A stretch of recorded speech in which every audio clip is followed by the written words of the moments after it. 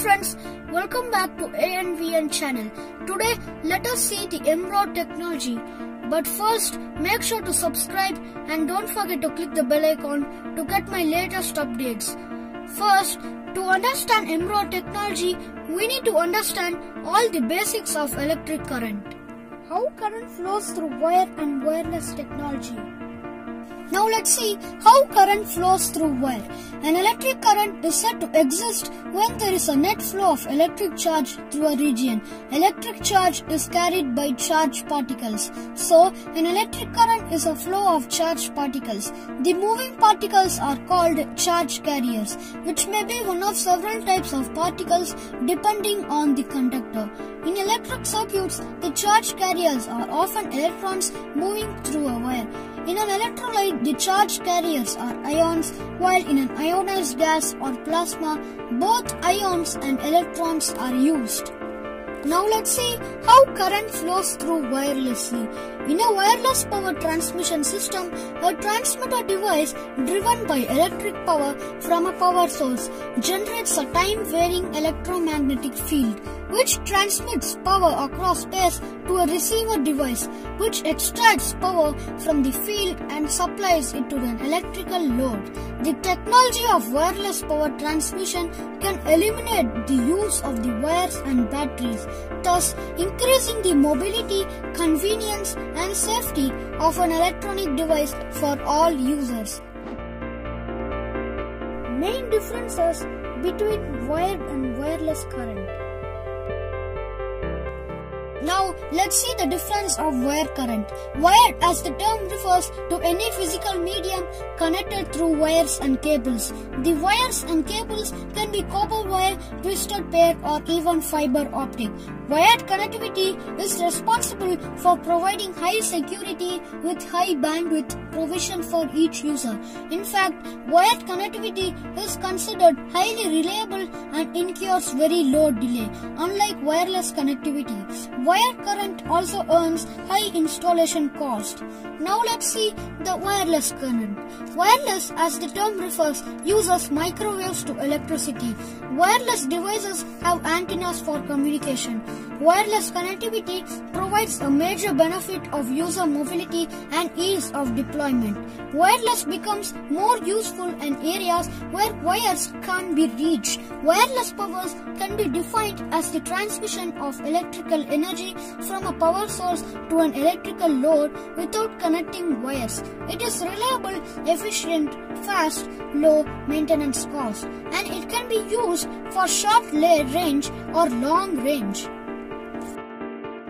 History about wireless electricity. Transferring energy with microwaves has been around for decades. In fact, back in 1891, Nikola Tesla set out to supply power wirelessly. This led him to create the Tesla coil, the first system that could wirelessly transmit energy. He tested wireless energy transmission using a radio frequency resonant transformer of the Tesla coil. He managed to produce high voltage, high frequency alternating currents that enabled him to wirelessly transfer power over short distances. Unfortunately, Tesla was never successful in developing his coil technology further.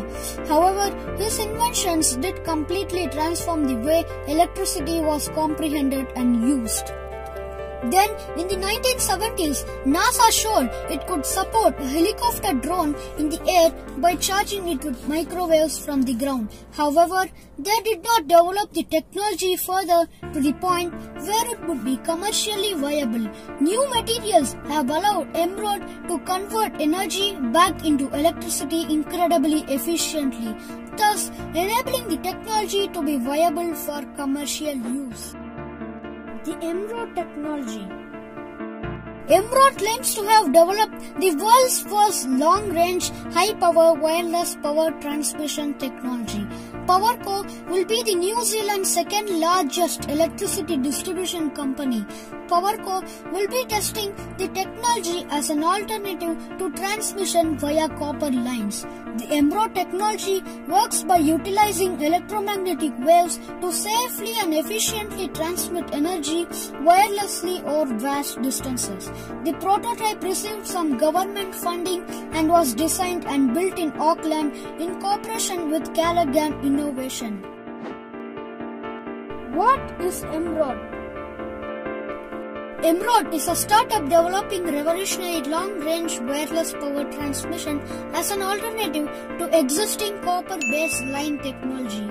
The technology was developed in cooperation with Callaghan Innovation Research scientists and supported by a government R&D grant. How it works Energy is transmitted through electromagnetic waves over long distances using EMROD's property beam shaping, metamaterials and receiving antenna technology. The technology requires a transmitting antenna to send the energy and a receiving antenna to do what it name suggests, receive and rectify the beam back to electricity. A relay can be used between these two antennas to extend the distance the energy is able to travel across.